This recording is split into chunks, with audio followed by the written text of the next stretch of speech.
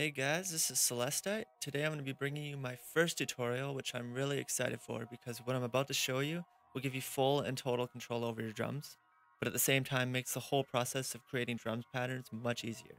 So to get started, we're going to open up an instance of FPC, which gives you the ability to layer multiple samples on top of each other, and I just love the fact that you can set different ranges of velocities to play different sounds all by using one note in the piano roll.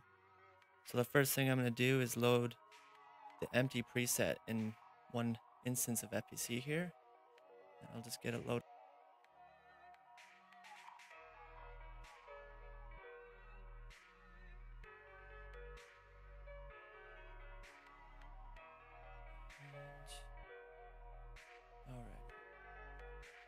So we presets empty. And this one pad in particular will be just for my kick drum so I'm going to copy one for each sound that I want. So I'll start right now. mouse just froze. And sec clap sound. And um, basic hi-hat.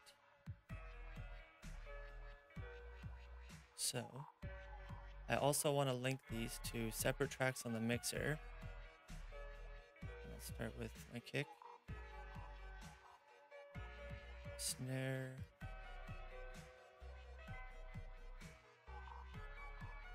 Sound here.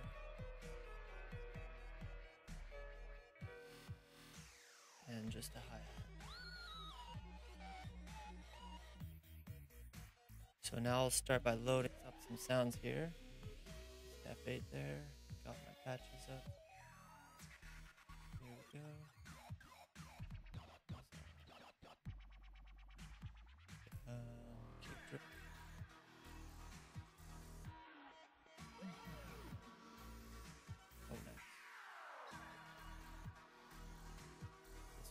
Click.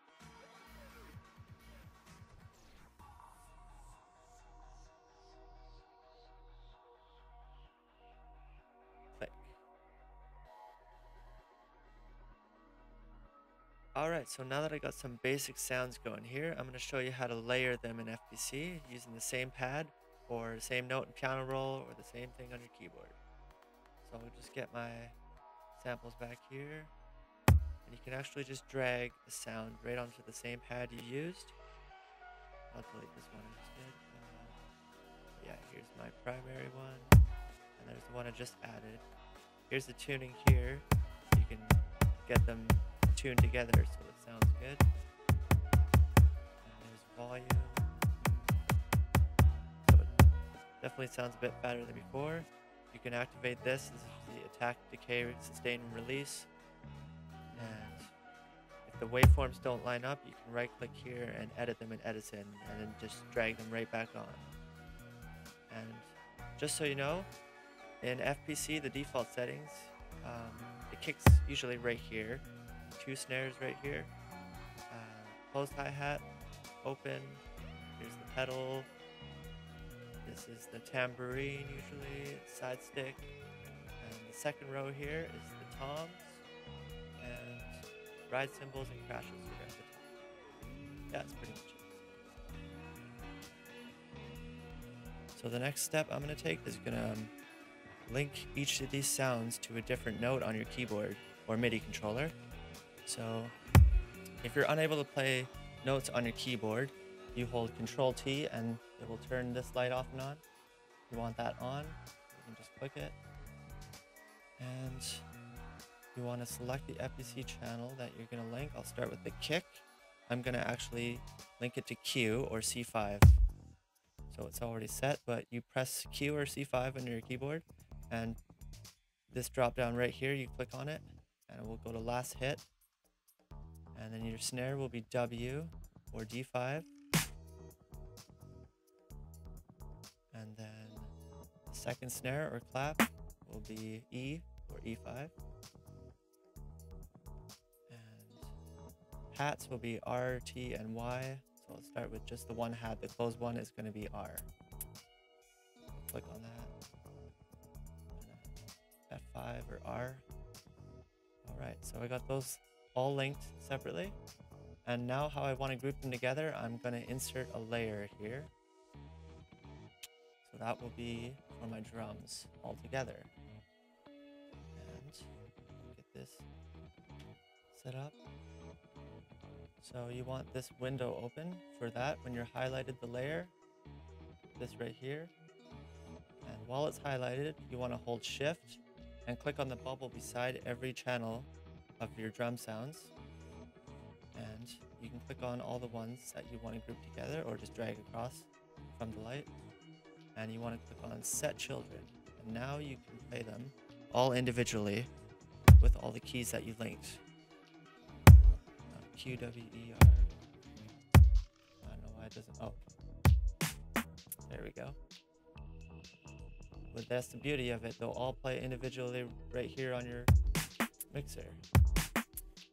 So you can put an effect on one at a time. Do whatever you want to do while you're holding the drums down. Whatever. and you can just put this in the channel roll. I think, no, I might already got one out. Yeah. I'll make a beat here real quick. So it's on C5 is the kick, we know that.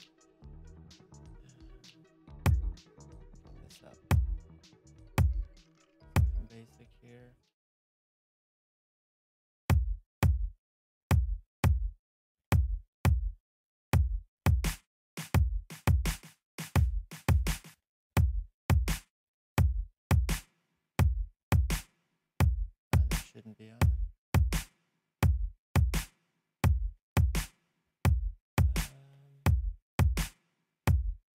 All right, so you get the idea there. But another thing I wanted to do is route these all individually to one mixer channel. I'll stop this for a sec. So you just highlight the one you want to route, and then the little gray button above the effects on here, while it's highlighted, you want to right click that on the main drum channel and say route to this track only. Route to this track only. We'll do that with all of those. And you'll see what I mean here real quick. I'll play that pattern again. Add some hats.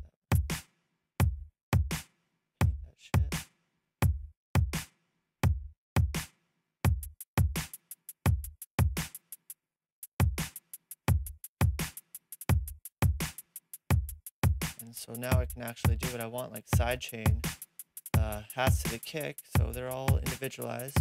I have this all set to go, but I don't know if it's working right, is it? Yeah, it's kind of working. Alright, that's pretty much it, and on the drum channel I can have my effects here. Doing what I want, exactly. That's pretty much it. Thanks for watching. Have a good day. Happy producing. Cheers.